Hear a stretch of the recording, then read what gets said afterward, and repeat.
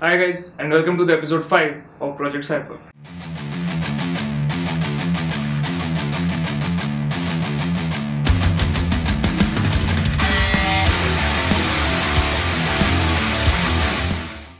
So in the last episode we assembled together a basic structure of the motorcycle and the only logical thing to do next was to get some controls and instruments into the system, which is exactly what we did in this episode. We did quite a lot in this episode ranging from the switches to the cables to the wiring harness which I was dreading to do since a long time. And also at the end of the episode we answer one of the biggest questions that has been hovering around since we started this series. Will it crack? So stay tuned and let's find out together. Alright, so let's start with the handlebars. We are using clip-on handlebars over here, which are mounted directly on the forks. So the mounting procedure is pretty simple. We just gotta remove the yoke and slide the handlebars down the forks. So next we equip the handlebars with levers and switches etc. So the lever on the left handle is the clutch lever and the one on the right handle is the front brake lever. The switch controls on the left side include a dipper switch, a high beam and low beam headlight switch, uh, Uh, your turn signal switch, and most importantly the manual decompressor switch. Whereas on the right side you get the engine kill switch and the headlight and the parking lights on and off switch. As you can see the levers that I have used are chrome ones which are generally used in higher end Royal Enfield models and the switches that I have used are also the new style switches. The older switches didn't used to come with an engine kill switch so this was also an add-on.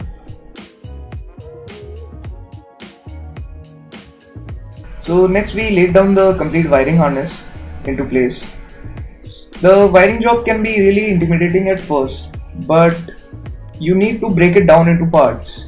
If you look at it as a whole it'll feel like a mountain but if you break it down into steps it'll feel a lot easier so we broke it down into first getting the basic wiring done so that we can at least get the engine running and we decided to worry about the rest later on so the basic wiring over here involves the ignition coil the regulator. The three wires or the four wires coming from the alternator depending upon your harness. The timing point the spark plug and of course your ignition switch and the battery. But even after we made all these connections perfectly, we still couldn't get the current running through the circuit. Only later on did we realize that we had not connected the ammeter into the circuit and hence it was incomplete. So this is a big heads up if you are doing a wiring job related to a Royal Enfield. You either need to connect the ammeter or you need to make a direct connection through the ammeter if you want to complete the circuit.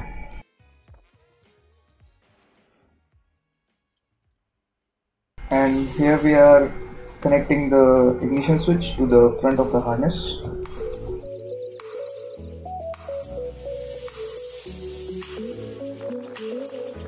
so next we install all the cables that are crucial to the motorcycle's function. So here we are installing the clutch cable. The clutch cable is at one end attached to the clutch lever and on the other end it goes inside the gearbox. And here you're looking at the decompressor switch present on the left hand controls. The second cable that we need to install is the decompressor cable that goes over here at one end and on the other end it goes to the cylinder head the third and the final cable that we need to install is the throttle cable. The throttle cable goes inside the throttle twist grip on one end and on the other end it goes inside the carburetor. And over here we are installing the rear brake pedal to the motorcycle. So the brake pedal is mounted at one point in the chassis about which it has a free rotatory motion and then a brake rod connects the pedal to the brake mechanism present on the rear sprocket. Once we install the brake pedal, we need to adjust the rear brakes so that while we are not pressing the pedal, the rear wheel has a free motion and while we press the pedal, it gets locked.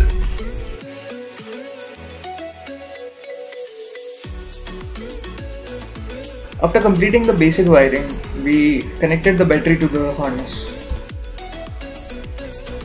Always remember while connecting the battery you need to connect the positive terminal first and then the negative terminal and while disconnecting the battery you need to disconnect the negative terminal first and then the positive terminal.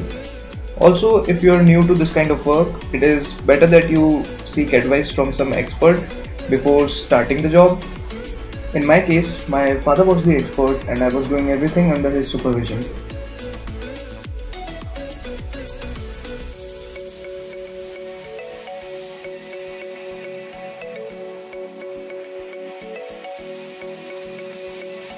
A good grip on the foot pegs is as important as it is on the handlebars, so we replaced the old foot peg rubbers with a new set. So in the previous video I mentioned that we had to use an older Thunderbird yoke on our motorcycle and since we could not find a new piece we had to buy a second hand one. So although the yoke was in good shape given that it was around 8 to 9 years old we couldn't use it as it is because it still was looking very old. So I thought of getting it painted. But as soon as we applied primer on the yoke, we noticed that the primer was not sticking to the surface. So spray painting it was not an option now. So I went into the market to get a taping job done on the yoke, but none of the shopkeepers was interested in doing such a job. But one of the shopkeepers introduced me to a guy who does powder coating on an industrial level and fortunately he agreed to do this job. And hence we got this piece powder coated. And the finish is great. And now coming to the cockpit. I bought this unit off at Amazon. It's a pretty basic unit nothing fancy. Two dials both analog. One's a speedometer while the other is a tachometer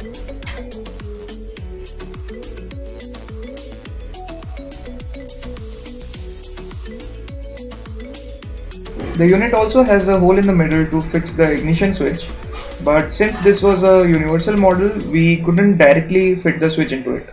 In order to fix the switch really nicely into this, we had to cut out some part from the older unit and weld it into this one. Now over here I am wrapping the exhaust bend pipe using a belt that is covered with insulating material. While this belt increases the overall look and appeal of the motorcycle, it also creates a safe space for our legs. Now while doing this, I forgot the part where it says that the belt is covered with insulating material. So the insulating material used over here is fiberglass. You can think of it as very fine spike shaped pieces of glass. And if fiberglass touches your skin, it can cause real bad irritation and itching. Therefore, while working with it, you need to follow all the safety instructions like uh, safety gloves, safety goggles, a mask, etc. By the time I realized that the belt had fiberglass on it, it was too late and I had to pay the price for the next two days. And finally, the moment has arrived. The moment we've all been waiting for. The moment of truth. Since the time I opened up the engine, there were quite a few questions running about in my mind. The biggest one of them being, will I be able to crank it up again? It's time to answer that question.